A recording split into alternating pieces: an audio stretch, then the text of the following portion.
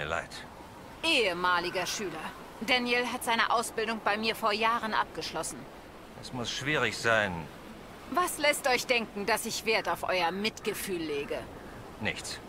Ich kannte ihn ja nicht einmal, aber mir scheint, wir haben mit ihm einen guten Sucher verloren. Ich... Ihr habt recht. Er war ein guter Mann. Danke.